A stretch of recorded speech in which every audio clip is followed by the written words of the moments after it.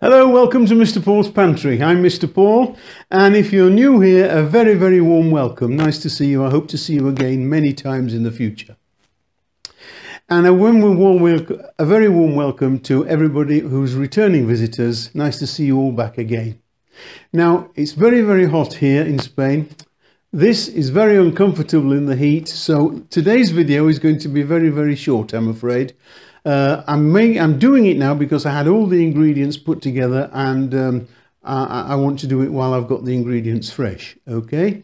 Now, it's a video for something called apricot fancies they're very much like uh, uh, a Danish pastry, but there's no yeast in the recipe at all, like there is in Danish pastries. There's yeast in the pastry. There isn't with this.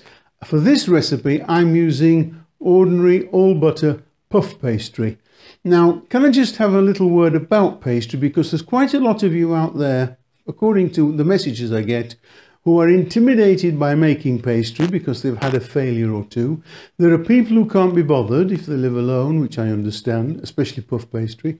And if you like that, don't miss out on this recipe just because you don't like making pastry. Shop bought pastry is very, very good these days. Some excellent products there. Have I ever bought shop pastry? Yes, by all means. I've made pastry for 60 odd years in my bakery and I can make it with my eyes shut. But yes, I do live alone and yes, I do occasionally buy shop bought pastry.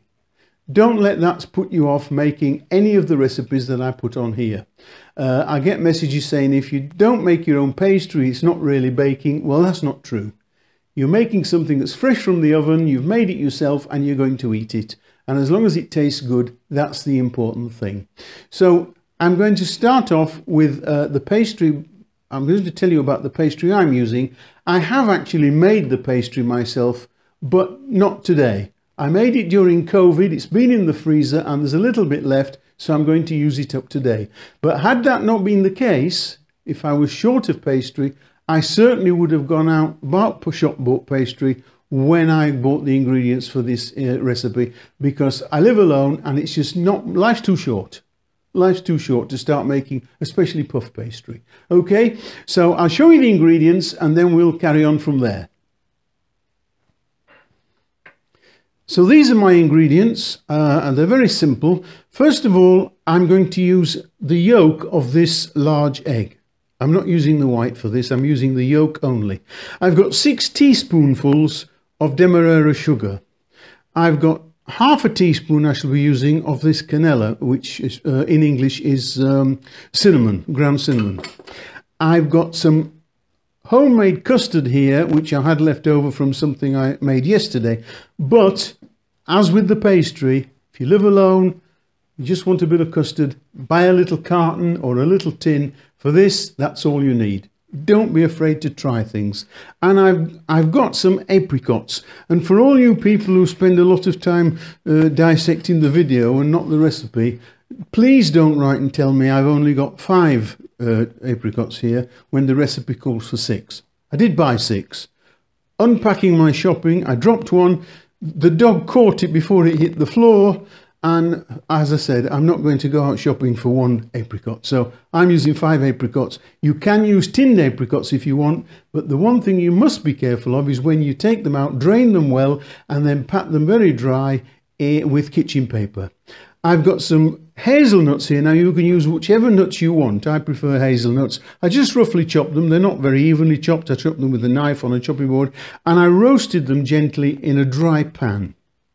Uh, and that's it, apart from the 350 grams of puff pastry that you will need. So these are the ingredients. I'll just go through them again. A little bit of ready-made custard, whether you make it or buy it, it makes no difference. Six teaspoonfuls of demerara sugar. One large egg yolk. Six, I know there's only five there, six apricots. Half a teaspoonful of cinnamon um, and some toasted nuts. I'm using hazelnuts. You can use whatever nuts you wish. Okay. If you've got a nut allergy, leave the nuts out. Okay. Doesn't matter because nice crispy top. That will happen with the uh, demerara sugar anyway. So those are the ingredients and we'll do it.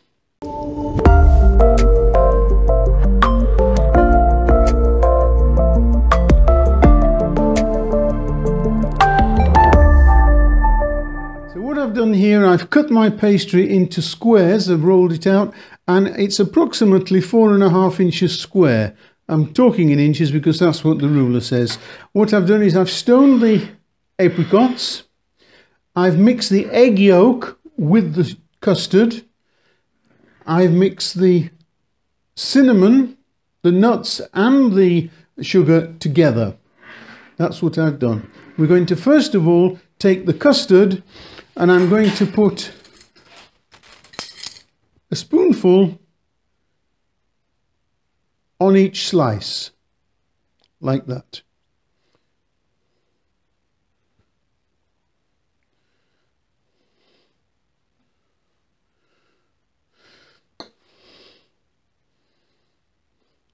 This probably could have been a little thicker, but it doesn't matter. Like that.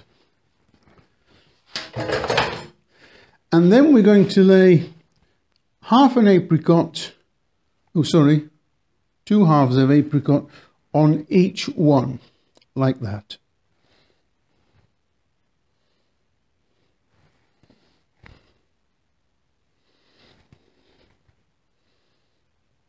I've already put the custard that, forgetting I should have had one more uh, apricot, which I haven't got, which I told you about. So I'll move that to one side. Now, just because it's very hot here today, I'm just going to dab a little water on each corner of these. Normally it wouldn't make any difference, because it, but it's drying out very quickly now with the heat. It is actually 43 here at the moment, outside. In the kitchen here with the oven on, it's about 49, I think. So then what we're going to do is we're going to take the two corners from there and stick them like that. Okay? Then these two, I'm just going to stick them onto the apricot like that because the, they aren't big enough to meet in the top. Just stick them onto the apricot like that.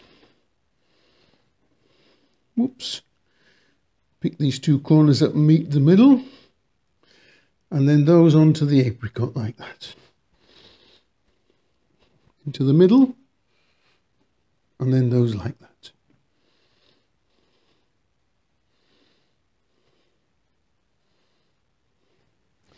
Now, the next thing we have is a baking sheet and I need to put one of uh, put these on the baking sheet but we need to make sure we have a space between them all so that we don't get them sticking together when they bake.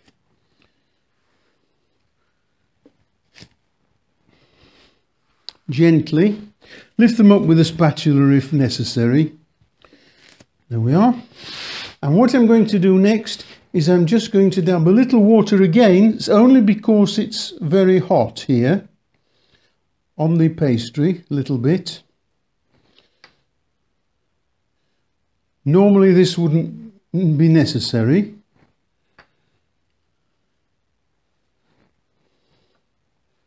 There we are.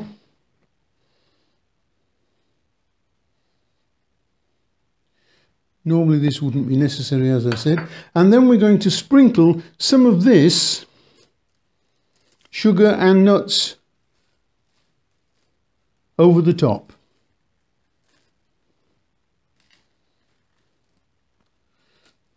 Some will fall off, don't worry, onto the, onto the tin. We can't help that.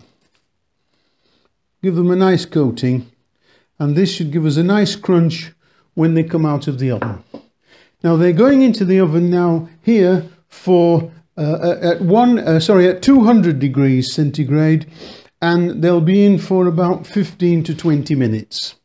So as soon as they're ready I'll come back and show you what they look like. Well here they are straight from the oven. They're looking very very nice. Nice and crispy on the outside, crunchy on top and moist custard underneath the apricots. Uh, and I hope you've enjoyed the video. If you have, go underneath, give it a thumbs up, And if you have any comments, questions, or suggestions, leave them there. I do read everyone. I can't guarantee to answer them all. I do as best I can with the time available. And um, if you haven't subscribed, press the subscribe button. When you do that, you'll see a little bell icon. If you click that, YouTube will tell you every time I put up a new video. So it's Mr. Paul saying bye for now, and I'll see you next time. Bye.